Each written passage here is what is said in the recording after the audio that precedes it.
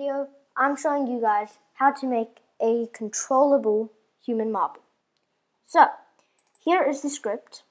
Um, it's going to be in the description. So, here is the type of material. Here is the transparency. And here's the color of it. And here's the size.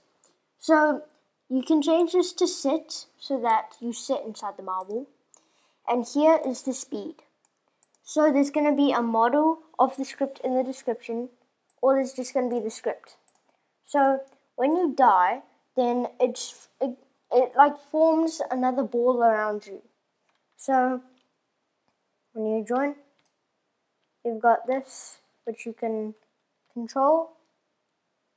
And then if I fall off and I die, when I respawn, it's just going to be a different color because I set the color to random. Oh, now it's green. So yeah, that's basically it. And I'll see you guys in the next video. Bye guys!